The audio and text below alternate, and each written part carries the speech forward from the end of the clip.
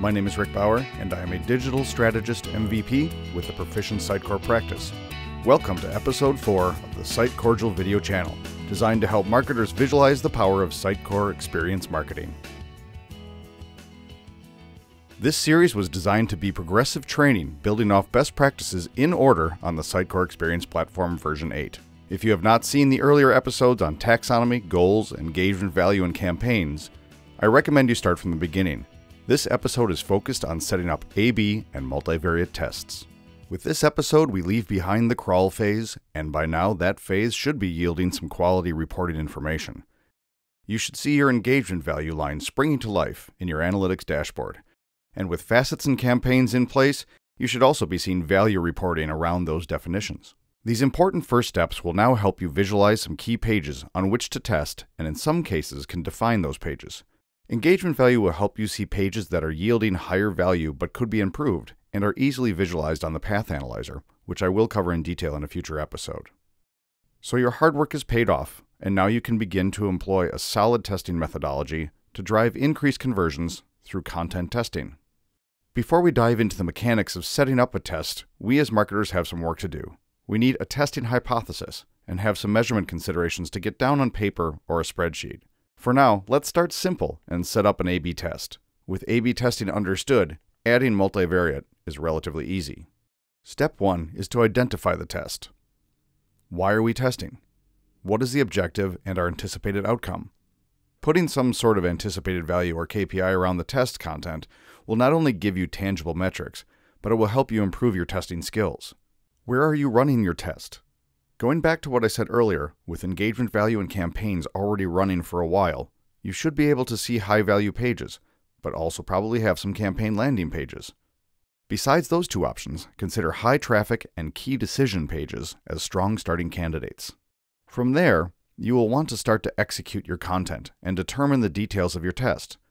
Please make sure your content variates are significantly unique versus your original content in both A-B and multivariate testing.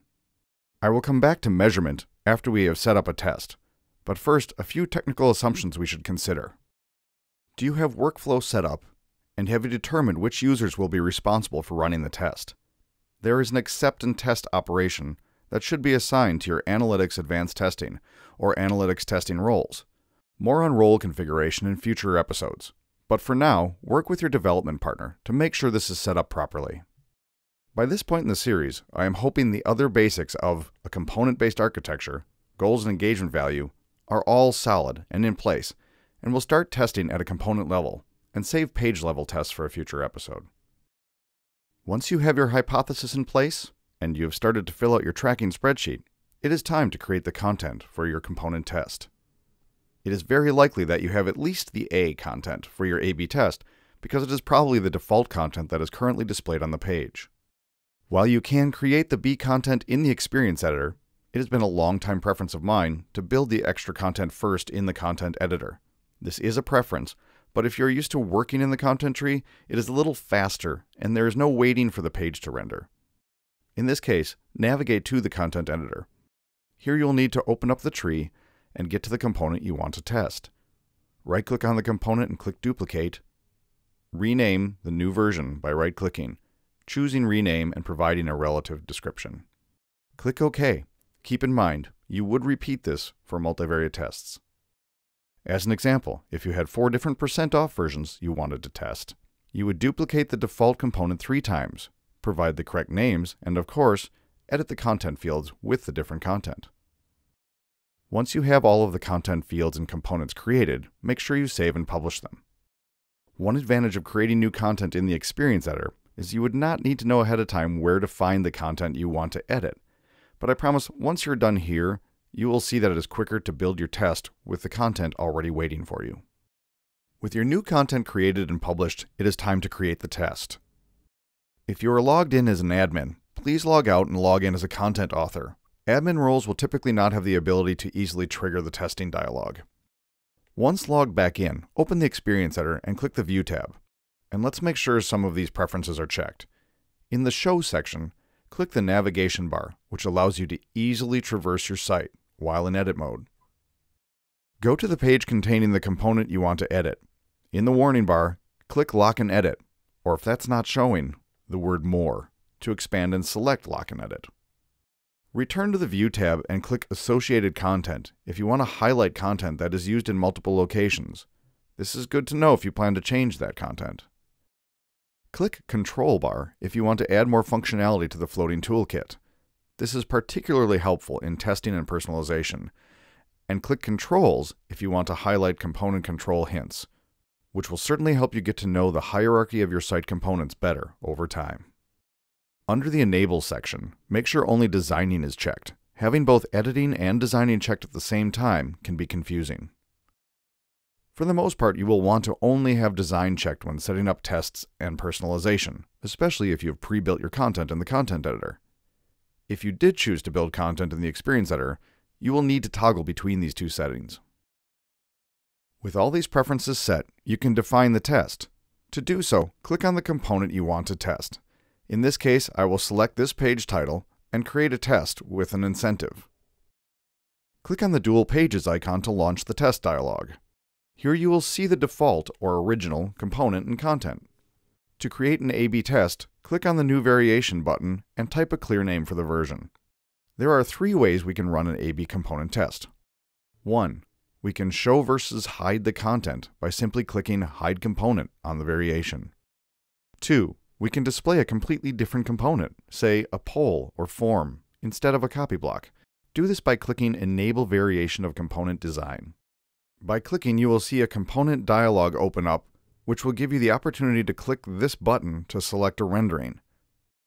Hopefully you will see helpful reference thumbnails like these to be able to quickly choose the right replacement component. They should also be set up to only display components that will work in the same place in the site as the one you are testing against. For now, I'm going to cancel out of here and deselect the component variation checkbox, as we are going to simply focus on a content A-B test. To select the different content, click this button to open the content window. A well set up Sitecore instance will deliver you to the correct folder for your associated content instead of the top of the tree like my demo does. In any case, I can navigate the tree to find the test content I created earlier in the content editor. With the proper role authority, it is in this dialog where I could create or duplicate existing content from inside the Experience Editor. Since we already did build the content, I simply select and click OK. You can imagine that if you were doing a multivariate test, that having the content already created would certainly expedite this part of the process. Speaking of multivariate, to go beyond a simple A-B component test by adding a new third, fourth, or fifth variation, this becomes multivariate on the one component. Or by running A-B tests, and multivariate tests for that matter, on multiple components on a page, is by definition multivariate. Happily, Sitecore will help you manage the details. A quick note about this action button. This is where you can rename or delete this test level, but since I am set with this, I will just click OK. I also suggest here that we save the page. With the control bar checked in the View tab, you will now see a different look in the floating toolbar. Click the arrows next to the A or the drop-down where it says Original to scroll through the versions for both AB and multivariate. You can see the changes visually inline in the Experience Editor. This is very powerful when you consider changing creative such as images and design to see how the content looks in context with the rest of the page. Depending on your workflow settings, you may need to move your test from draft to review and wait for approval. Because this workflow can vary, please work with your development partner to determine the best workflow to meet your governance needs. Ultimately, you or your test approver will see an option to test or approve with test, which opens this test dialog window. Make sure to navigate across all the tabs for a complete setup. Tab 1 allows you to preview thumbnails of the different versions of components and choose your anticipated effect on the changes. In this case, I will choose an improved outcome. This setting will show up in the Experience Optimization Report to show each tester's ability to guess outcomes. In the Variables tab, it is very important that you deselect the components you do not want to include in the test. For one thing, the effect prediction that you just selected will be based on all combinations unless you uncheck the other possible tests on the page. By unchecking, you place focus on the one component you are working on. Leaving more checked constitutes a multivariate test, and you will see that reflected in the experience created information. Slide the percentage slider if you do not want everyone exposed to this test. Keep in mind, if you have a single A-B test set on the page, and the slider is set to 100%, then 50% of your traffic to this page component will see version A, and 50% will see version B. If you have 90% selected, for example, 90% will be exposed to one of the variations, while the remaining 10% will only see version A. Choose your confidence level. Think of this like a margin of error. If you want your test to be based on a 1% margin of error, choose 99%. If you work off of a 5% margin of error, choose 95%. 10%, choose 90. This will make sure enough statistical data is present to determine a winner. 95% is the default. Play around with these settings and note how it affects the experience created information. Finally, the Objective tab.